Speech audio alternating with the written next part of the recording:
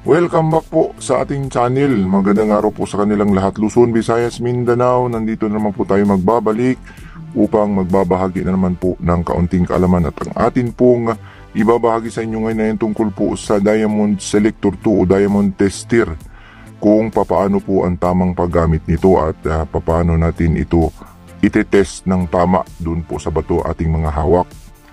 Marami po kasi sa atin ang nagpapadala ng video na kung saan puro diamond na lang ang kanyang natitest. Bakit kaya? Yun po ang ating uh, ipapaliwanag sa inyo mga ka-treasure hunter. Pero bago yan tayo po muna ay magpapasalamat sa lahat po ng mga sumusubaybay sa ating channel. Road to 30k subscriber na po tayo.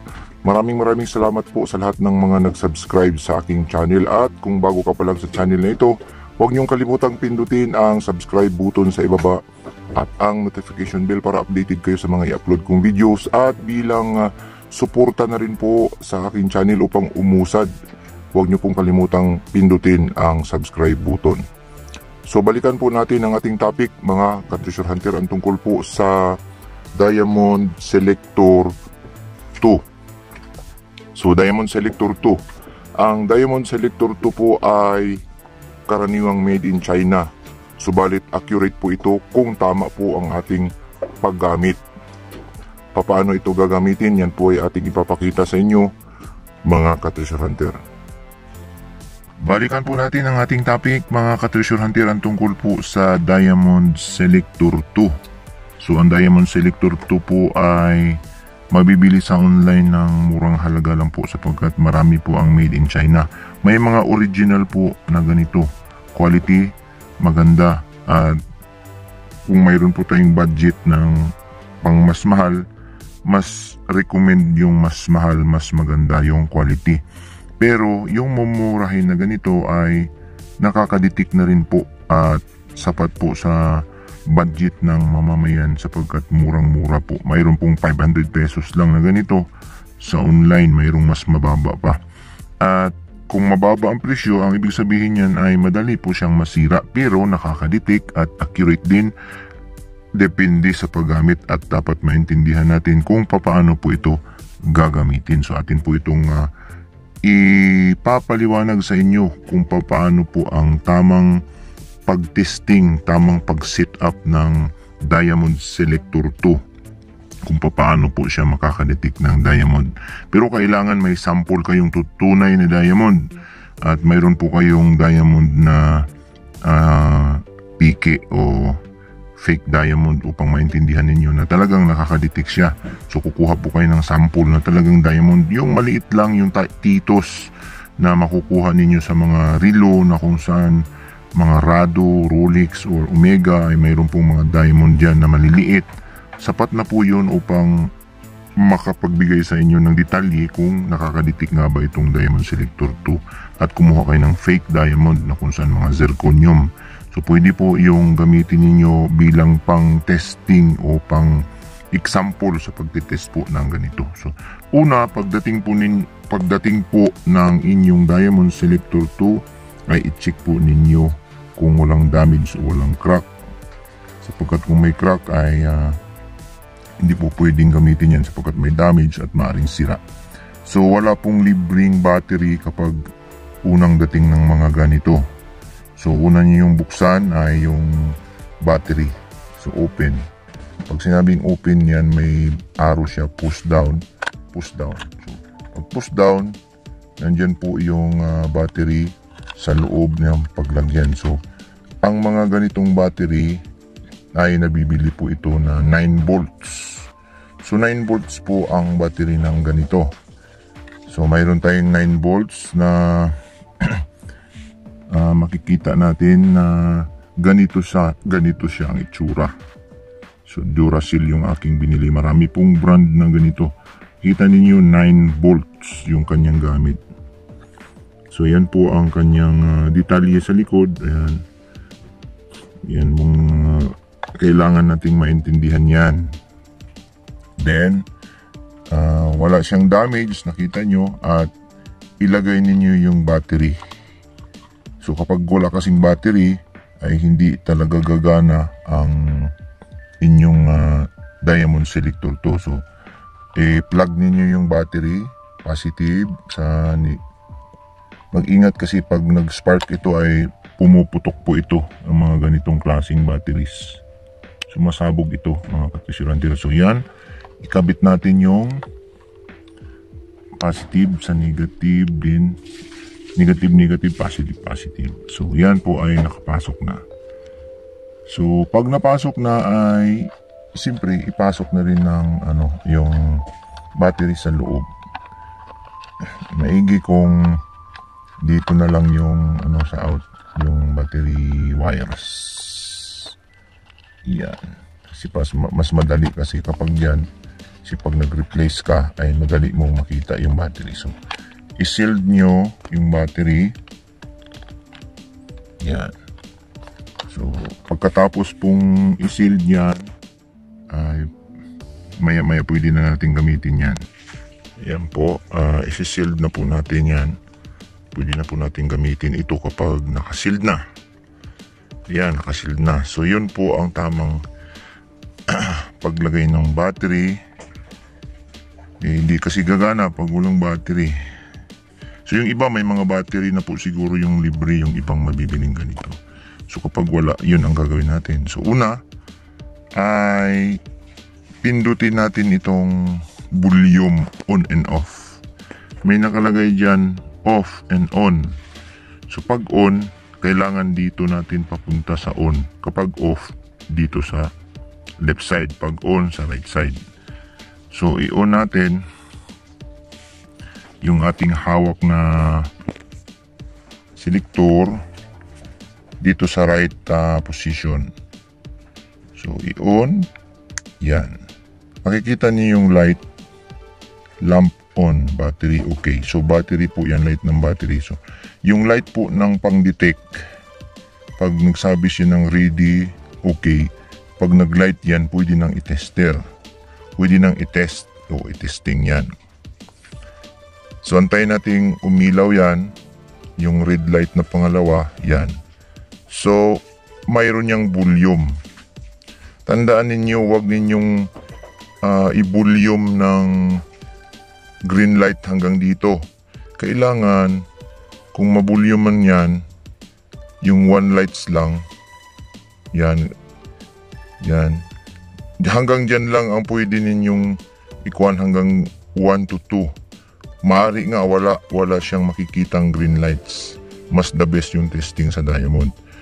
Tapos, pag nakita ninyo na gumaganyan yan, tumataas yan, halimbawa isang testing ninyo, pag makita ninyo tumataas yan, ibalik ninyo ang volume sa baba para walang light. Kasi pag nag-light yan ng mataas ay eh, hindi na accurate yun at hindi na diamond yun. Lahat ng isusukatin mo, eh, nagre-red light yun kapag mataas yung volume hanggang dito. So ibaba ninyo yung volume lagi kapag ang lights ay nakikita nyo tumataas, ibaba ninyo yun na wala kayong makita. Saka kayo magte-test ng bato. Sapagkat kung tumaas yung lights dito at itest ninyo sa bato, siyempre magre-red light lahat yun. At lahat ng bato na itetest niyo ay maaaring diamond na at mali na yung inyong uh, uh, pag-test doon sa bato. So yan po ang tamang uh, paggamit. Kailangan wala tayong makikitang ilaw dito o kung mayroon man hindi lalagpas sa 3 green lights, 3 bars o hanggang 2 bar lang, 1 to 2 bar uh, pwede nang i-volume yan sapagkat uh, hindi na gaano kalakas ang uh, detection yan. At take note kapag uh, nag-detect kayo o nagtitest kayo ng bato ay huwag ninyong itusok ng husto, idiin. Floating lang kung diamond yan ay nadidetect niya kahit touch lang na mahina. Kapag idiin ninyo na ganun, ay mas ang temperature tataas at maaring madiditik niya na parang diamond sapagkat inipit niya yung pin sa loob. So kailangan hindi maibaon ng husto ang karayom doon sa bato. Kapag naibaon ng husto ang karayom doon sa bato, yan po ay fake na ang da- lalabas at maaring maging diamond kahit hindi diamond sapagkat yung temperature ay mainit na po kapag naipit siya doon sapagkat kumukuha po ng temperature yung uh, ganitong klaseng tester. Kung mataas ang temperature, siyempre diamond testing niya ang, kanya, ang lalabas po sa kanyang uh, indicator. So kailangan ay touch lang na gentle doon sa bato at kung hindi po mag uh, re-react ng red lights ay yan po ay fake diamond. So yun po ang tamang uh, proseso ng uh, pag-test ng diamond. Sa paghawak, ay yung iba sabi na tamang paghawak, hindi po. Kailangan, kahit anong hawak yan, basta't wag lang yung hawak ng parang uh, careless. So hawakan mo kahit kaliwa kanan po, hindi naman yan. Uh, sa paghawak, di, dito ang paghawak po, hindi rin ganyan. Depende sa posisyon nyo kung anong klaseng gusto nyong hawak dyan. Kasi ang temperatura lang naman ang kinukuha yung hardness ng uh, bato. Kaya nadidetect ng diamond tester. So pakita natin mga ka-treasure hunter kung paano kukuha tayo ng uh, diamond. So kapag nagtitest po ay kukuha po tayo ng sample na hindi diamond at saka diamond. So ito pong ating kinuha ay diamond ring na 14 carats na mayroon po siyang uh, ah, 14 pieces na diamond sa paligid na 0.1 carats at saka 0.03 karat yung nasa gitna. Yung malaki-laki po yung nasa gitna. So diamond po yung mga bato na yan at nasa 14k solid yellow gold. Ito po ay pinasadya lang. So itong sample natin na to ay mga rose quartz ito. rose quartz yan pero zircon ang materialis. So ito ay ipit natin para ma-detect natin. So kapag nag-detect tayo, kailangan may sample tayo kasi eh, hindi natin alam kung ano yung tama kapag wala tayong sample na hindi natin makita kung alin yung uh, tinatawag na basihan natin. So may basihan tayo kung tama o mali yung ating ginagawa. So pag nalagay na po natin yan ay uh, kukunin na po natin itong pang-tester. At kailangan hindi po madiin ng ating paghawak. Hindi rin masyadong mahigpit yung paghawak natin pala at wag na masyadong idiin sa bato kapag nag-detect tayo ng bato. Tsaka wala tayong makitang bar dito kung man hanggang 1 to 2 bars lang. Wag dito hanggang dito. So nakikita ko kasi yung iba nagtitest, nandito na yung ilaw eh. Dapat walang ilaw yan bago mo eh. Wag yung tusok ng tusok, isang tusok lang. Wag pabalik-balik. Kasi nalilito yung selector. So una ay itetest natin tong bato Huwag idiin. Makikita nyo, soft lang ang pag... Huwag yung idiin na ganun, di, di, dinidin yan. Kasi mas, pag idiin mo lang ganun, madiding diamond yan, may ipit yung, yung pin doon sa loob, mainit na, yung temperatura mag-iiba. So, soft touch lang po ang pag, ano niyan, yan, soft touch. Gentle lang sa taas. Yan, hanggang 4 bars lang siya. Hmm. So, yan po ang tama huwag idiin ng gusto at huwag kayo maghanap ng butas dyan para ipasok yung pin na yon kasi magiging diamond yung bato kahit hindi diamond. Kailangan dito lang sa surface sa taas lang. Yan, sa surface lang, yan lang kita nyo. Pag idiin ko yan ng gusto, magiging diamond yung bato kahit hindi diamond. Kailangan sa taas lang ng surface i-detect. O, tingnan nyo ang reaction ng diamond kahit mahina. Mahina lang yung paglagay natin ay madiditik na yan. Ayan. Soft lang yan ha. Ayan. So walang light dapat na matira dyan. So antayin nyo munang bumaba yung lights saka kayo magditik. Hindi yung ditikin ng ditik, ganyan, ganyan ng ganyan, pabalik-balik. Hindi po yan ang tamang pagditik. So antayin nyo muna, halimbawa, ditik nyo ng ganon Okay, hang, pag huminto yung light, tapos na yan. Huwag niyong sobrahan ng diin. Huwag ididiin. So yan po. As antayin niyong bumaba, sa kanya kayo pwede na naman uh, mag-test ulit. So tingnan niyo dito. Titest ko ulit yung diamond sa pamagitan nito na light lang yan. Sobrang lakas, di ba? Smooth lang. I-touch mo lang ng ganyan makikita mo na ang diamond ay malakas. Kahit na mahina lang yung soft touch lang, yan o, soft touch.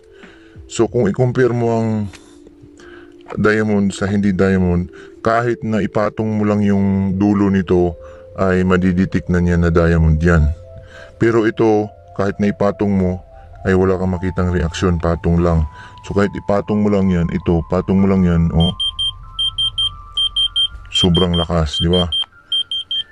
Yan po yung ah, pag-test ng diamond. So accurate po ang mga ganito. Kahit na murahin ay accurate po talaga ito. So recommended po kasi may mga diamond tayo na po, example na totoo at certified po na masasabi nating nakakadetect talaga siya ng diamond. So yan po ay ating ah, ibinahagi sa inyo upang ah, matuto kayong mag-test ng tama. So sana po ay na nakapagbigay tayo ng kaunting kaalaman tungkol po dito. Hanggang sa muli po, ah, sana ay may napulot kayong aral. Ah, thank you very much. Maraming maraming salamat po sa inyong panunood and don't forget to subscribe. Huwag niyo kalimutang pindutin ang subscribe button.